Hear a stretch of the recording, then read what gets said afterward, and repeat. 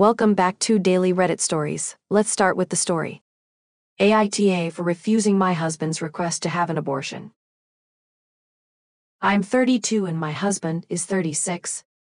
We have been married almost three years, and we are both Muslim.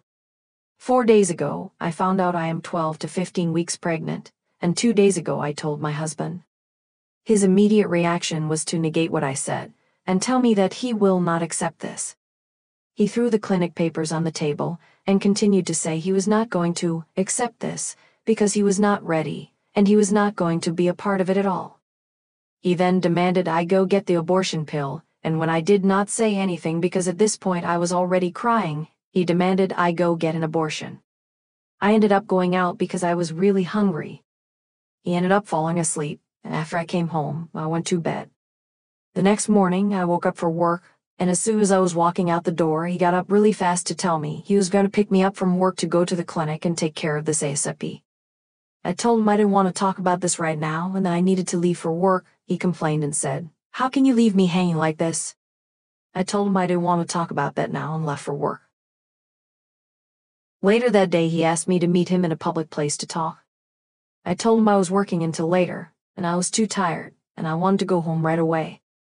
He said, okay, and waited for me to get home to talk, and he wanted to talk fast because he had to go somewhere. When we started talking, he basically started off by saying this is not what he expected, that he never agreed to have children right now, and that he was not okay with this because he was not ready. He also continued by saying he had not ended his business inside for a long time now, and that I was deceiving him because he trusted me taking BC. He also said we agreed not to have children until years later, and he never agreed to get pregnant now. I told him that at the beginning of our marriage, we agreed to be careful about having kids, but we were also aware they could happen anytime regardless. I've been on BC consistently all this time. I did switch methods at some point, and only recently, my husband started wearing condom, but not consistently. I do know for a fact that he would sometimes end his business inside.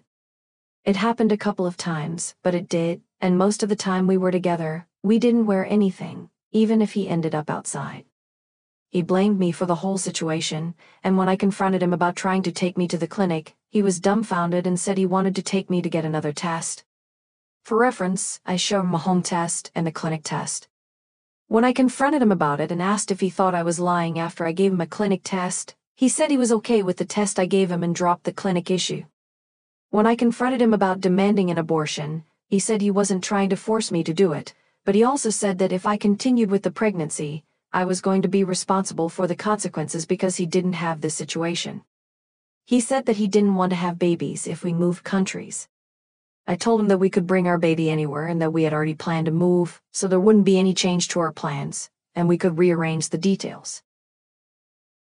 He also said that the bottom line was that if I wanted to be with him, we had to push this to the side. He said this pregnancy would break him, ruin everything for us, and doom our lives in every way.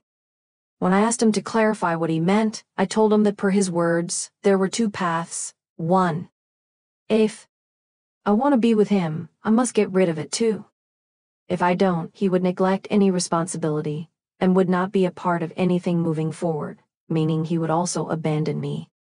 He tried to tell me that's not what he meant, and I asked him what would happen if I made up my mind and chose to follow through. He said he wasn't sure. He said this is the best for us and our lives, and maybe later we can have other kids since we are both healthy. For reference, we have been married for three years, and we are both Muslim. He did mention that I was allowed to carry the procedure as long as I am under four months, but that's under extreme circumstances where there is something wrong with the pregnancy, not just for any reason. I told him that for us, babies are considered blessings, and they always come with sustenance, but he laughed sarcastically and said, this was not the type of blessing he wanted. He wanted kids, but years later, maybe after three years once we both have our citizenships. This would take about one to two years from now cause I have to fix mine and request him. He said after this happened, we could both see where our relationship stands and decide on kids. He has been acting like I am not pregnant and like life goes on, but he said that my choice will either make things work or crush them. I have also been under a lot of stress, working extra hours to pay off the money I had to borrow for emergencies, so I don't have money to spare for food right now, and he is not worried about asking if I eat or not. I haven't had more than two eggs a day for the last three days, and I feel really tired.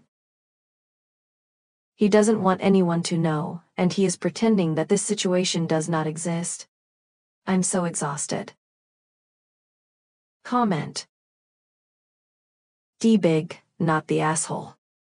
You're stressing out working extra to pay back money borrowed for emergencies. Did he benefit from the borrowed money? Should he be helping to pay the money back? Either way, I think he should help provide food and drink for both of you. I'm not even talking about the baby. As husband and wife, do you never share a meal? Do you never mingle funds for the household bills and groceries? As far as the baby goes, you are not the asshole. He refuses to even discuss the situation. You need someone to talk with, and he's obviously not the one.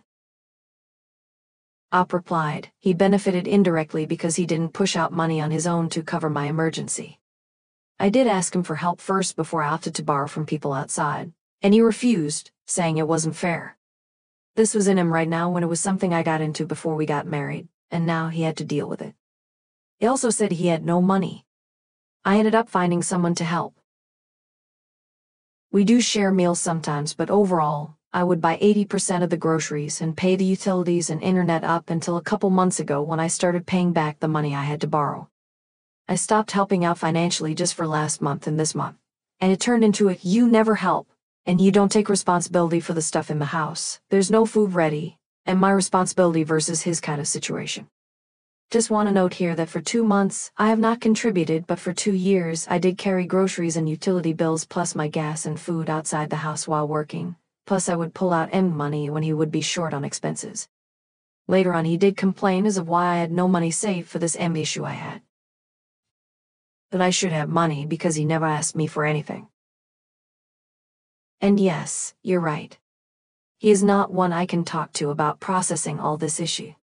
I did try yesterday, and he said he was also going through a lot of stress, and even he was getting sick now because he couldn't sleep because of this situation.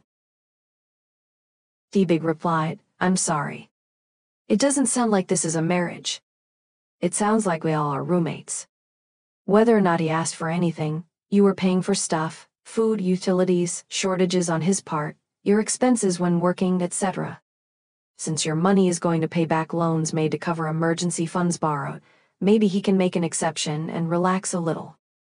Do you know where he spends all of his money? If not, why does he get to know where all of your money goes to the penny? I'm not much help. I apologize.